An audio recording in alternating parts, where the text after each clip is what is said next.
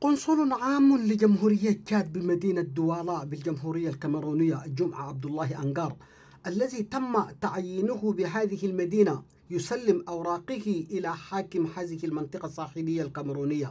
فتشاد والكاميرون اللذان تربط بينهما علاقات تاريخية وجغرافية بفضل السياسات الحكيمة للرئيسين التشادي محمد إدريس ديبي إتنو والكاميروني بولبيا.